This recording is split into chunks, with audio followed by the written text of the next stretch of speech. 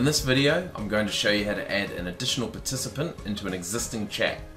So here you can see I've been chatting with Amy, and I have this add participant button up here. Let's click that. Right, we're going to add Luca. There he is. And we're going to click the add button. And what that does is it breaks that chat away uh, and creates a new chat with Amy and Luca. So there's a brand new chat as you can see there. And I can start messaging both those participants now. We can also add participants to existing group chats. Okay, so we do that in the same way that we add a participant to a just a one-to-one -one chat. So we click that button up here. All right, we're gonna go add people. Okay, and in this case we want to add Paul.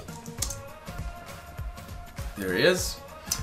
Now, if we're adding a participant to an already existing group chat, we have some options. Okay, so we can include no chat history, we can include chat history from the number of days that we set, or we can include all chat history.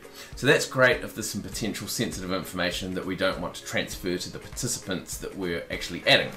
So in this case, I'm going to say include history for the last 10 days, and I'm going to add Paul.